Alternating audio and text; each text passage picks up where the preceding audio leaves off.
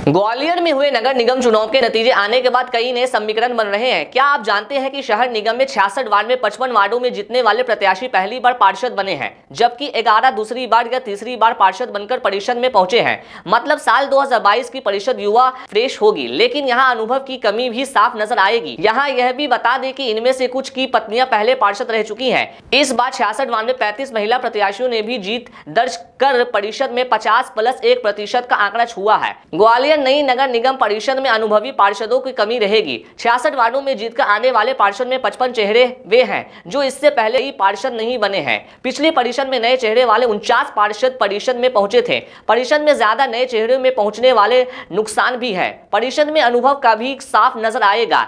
नए होने के कारण वे ना तो निगम विधान को समझते हैं और ना ही परिषद की कार्य पद्धति को। ऐसे में अधिकारी उन्हें अपने हिसाब को चला सकते हैं। जब तक वे निगम की प्रक्रिया को पूरी तरह समझ पाएँगे, तब तक आधे से ज़्यादा कार्यकाल निकल चुका होगा।